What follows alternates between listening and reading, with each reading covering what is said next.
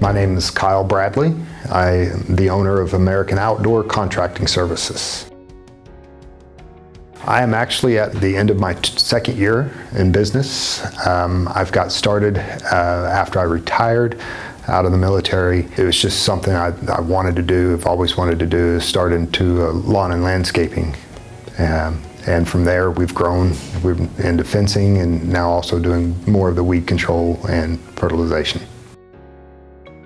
Majority of it, I just like being outdoors.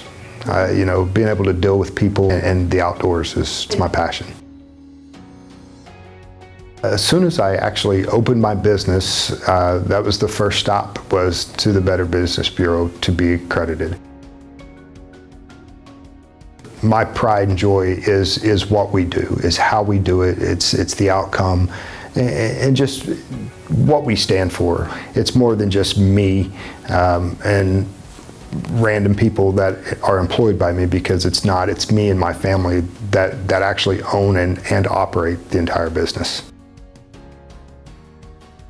The Better Business Bureau just gives us the backing uh, and the platform to stand on for people that can go to and trust them, also be able to trust us.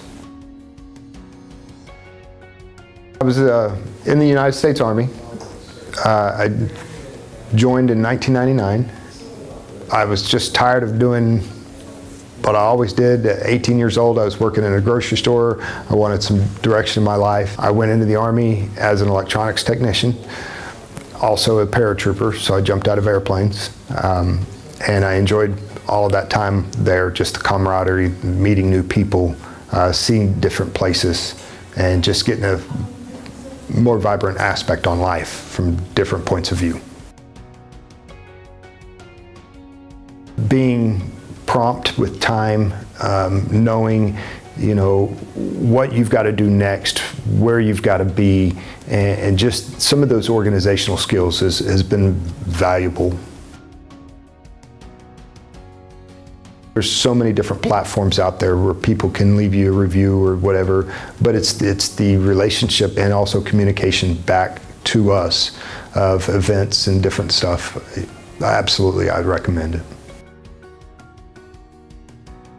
I think of a lot of reasons that it's it's important for people to support veteran-owned businesses is is just the simple fact that you know I could walk around and say, oh, I've always served the community and I'm still serving the community.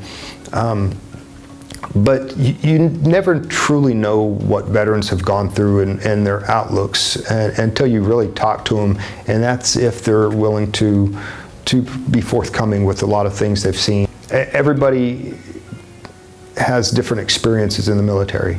Um, and, and, some people, you know, where they are good at organizational skills and can open up a business, you, you don't know what their limitations are, and therefore they're doing something that they're able to do versus just something that somebody hired them to do.